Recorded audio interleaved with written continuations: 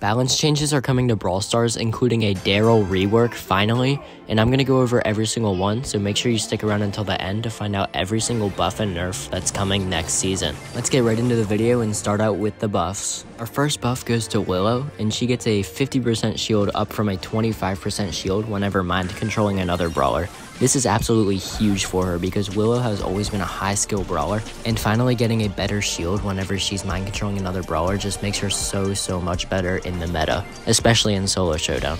However, I don't think this is going to make a huge change in competitive play. I really only think we're going to see more Willows in Showdown, so for that reason, she's probably one of the weaker buffs on this list. And by the way, some of the buffs on this list are absolute crazy, including some of the nerfs. I don't think all of them were needed, but you'll just have to stick around to find out which ones weren't needed. The next buff goes to Ash, and Ash only loses 10% of his health as opposed to the 25% he lost before the update. Again, I see no changes happening here in the competitive meta. Ash just isn't that good of a brawler and won't be for a while if they don't make some immediate changes to his damage or his health. So you won't be seeing him more in ranked, maybe for the first week or so, but after that he's just going to go back to being one of the least used brawlers in the game. Coming up next is Grom. Grom actually gets a basic attack damage buff and now it only takes 5 shots to charge his super, which I think is very, very good for Grom. Grom is a super, super mid brawler, but after this update, I think Grom's usage rate will definitely go up, and we will definitely be seeing him more in the competitive meta right now.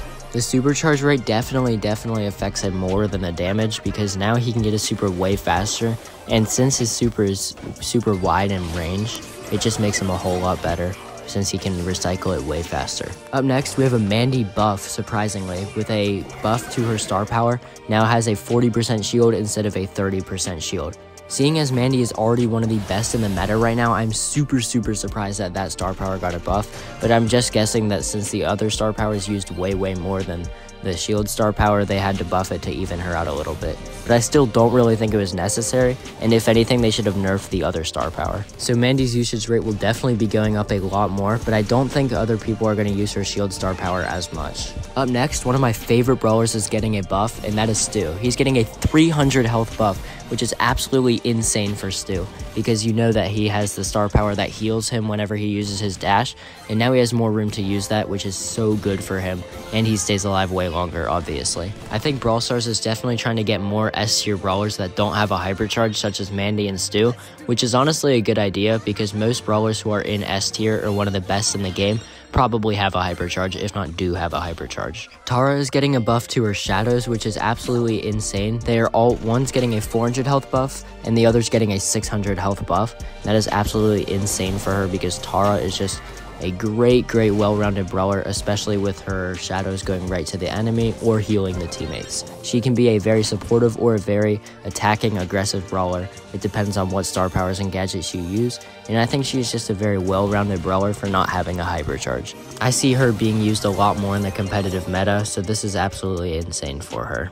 Penny is also getting a buff, and her cannon is getting a 600 health buff, which is pretty good for Penny, and I see her, if she had a hypercharge in the future, being one of the best brawlers in the game.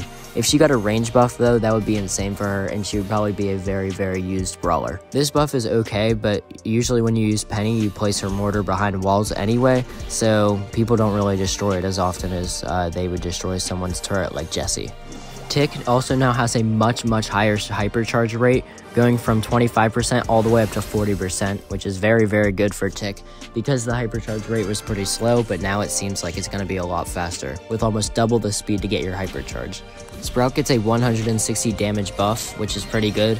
Sprout is a mid-mid thrower, so getting the buff is pretty nice, but it's not that big of a buff. Lola is getting a 20 damage buff, which really isn't that much, but since she has uh, spray tiles and sprays multiple at once, I guess it isn't that bad, so it's alright. One of the biggest buffs on this list goes to Bea because she's getting a 25 extra percentage buff to her damage whenever she hits her first shot, which is absolutely insane. That's almost at a 3 times damage buff now. After Bea's recent nerfs, this is definitely going to help her because her nerfs just absolutely nerfed her to the ground and she wasn't as good as she used to be. But now with this, I think she's going to be a lot better in the meta. Gus is getting a 120 damage buff, which is pretty good for him because Gus is one of the worst support slash sniper brawlers in the game right now, so the 120 damage buff definitely makes him a more aggressive brawler. Spike is finally getting a 200 health buff after having one of the worst hypercharges and the biggest fall-offs in Brawl Stars ever, so this is definitely, definitely going to help him in the future. Although it isn't that much, it can definitely save him from a few brawlers who have spray or attacks, and I definitely see his usage rate going up even though it's already pretty high in the future. Up next, Brock is getting another hypercharge damage rocket buff. A 250 buff is actually pretty insane for him. It's getting almost to the point where it does the same amount of damage as his normal super, and he'll probably get a lot more usage in Heist, but other than that, I don't really see him getting a good usage rate with his hypercharge in other game modes competitively. Getting into our first nerf is to Amber's Dancing Flames gadget getting a 210 damage nerf, which was definitely, definitely needed because everyone was using this gadget and nobody was using the other gadget, and this gadget just dominated the meta, especially in Showdown. She was basically a mini Melody. Berry's supercharge from healing other brawlers is getting a nerf. It's going from 75 to 50, so it's losing about a quarter of his supercharge, which isn't that big of a nerf, but I guess it was a little bit needed. I didn't really think Berry had that high of a usage rate, but I guess Supercell thought otherwise.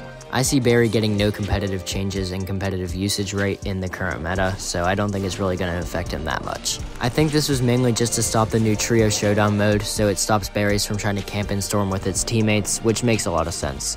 Buster is getting a 200 health nerf, which I didn't think was needed. Buster's just a very consistent brawler, and I didn't see him too much in ranked gameplay, or just in gameplay in general, but I guess it was needed. Meg is finally getting a nerf with all her billion projectiles that she has. A 20 damage health nerf to each projectile, which is pretty big, and I'm glad she's finally getting it. She deserves it. She's also just an annoying brawler. Her voice is super annoying. Up next, this brawler is getting not one, not two, but three nerfs in the next meta, which is Clancy. His supercharge rate was almost cut in half, taking now 6 hits to charge, which I guess only counts as one nerf, and his super damage at stage 3 is also getting a much much needed nerf. Clancy is super super overpowered and I'm also glad he's getting a nerf because I just got destroyed by him in almost every match I had in ranked. Frank is also getting a nerf, a 300 health nerf, he gets less health from his 1 star power, and his pool gadget's damage is getting cut in half, so now instead of doing 100% more damage, it only does 50% more damage. This was definitely definitely, definitely needed, and it took them two balance changes to finally figure out how to correctly nerf Frank, because Frank was just such a broken brawler for the past two seasons,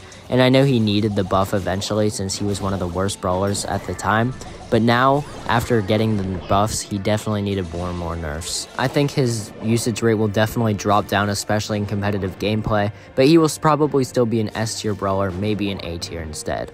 Kit's cheeseburger gadget is getting a 10% health nerf from 40% down to 30%, which isn't that much. I think Kit needs more nerfs. I hate Kit. One more kind of buff, kind of rework is getting to Gale. Super now does way more damage, but the hypercharge used to have a glitch where it would shoot two damage waves instead of just one that was needed, and that just got fixed, so now it always only shoots one damage wave. Gale after this will always 100% be an S tier brawler, and probably still a top 3 brawler in the game.